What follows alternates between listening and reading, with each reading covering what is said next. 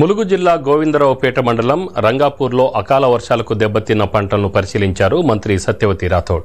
పంటలు దెబ్బతిన్న రైతులు ధైర్యంగా ఉండాలని ప్రభుత్వం నుంచి పరిహారం అందుతుందని భరోసా ఇచ్చారు. రైతులు కష్టపడి సాగు చేసిన పంట అకాల వర్షంతో దెబ్బతినడం బాధాకరమన్నారు. అధికారులు గ్రామాల్లో పర్యటించి పంట నష్టం వివరాలు సేకరిస్తున్నారని తెలిపారు.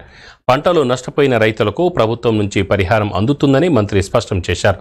అనంతరం గోవిందరావుపేట మండలం దుంపెల్లిగూడెంలో పలు రోడ్డు నిర్మాణ పనులకు శంకుస్థాపన చేశారు మంత్రి సత్యవతి. కార్యక్రమంలో కలెక్టర్ కృష్ణ ఆదిత్య అధికారులు రైతులు పాల్గొన్నారు.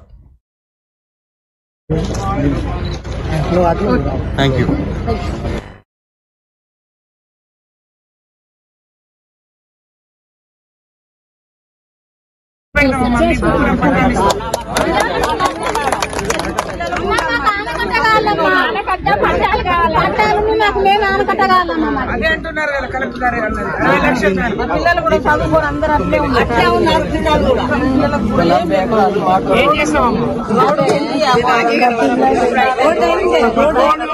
అక్కడ